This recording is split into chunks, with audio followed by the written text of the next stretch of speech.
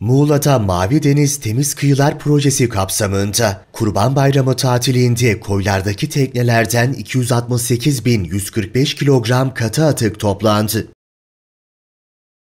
Büyükşehir Belediyesi bünyesindeki 7 atık alım teknesiyle Gökova Körfezi ve Göçek Dalaman koylarındaki teknelerden 114.134 litre pis su, 85 litre sintine, 29 litre atık yağ da alındı. Muğla Büyükşehir Belediye Başkanı Osman Gürgün gazetecilere kentin 1480 kilometre ile Türkiye'nin en uzun ve eşsiz kıyılarına sahip olduğunu söyledi.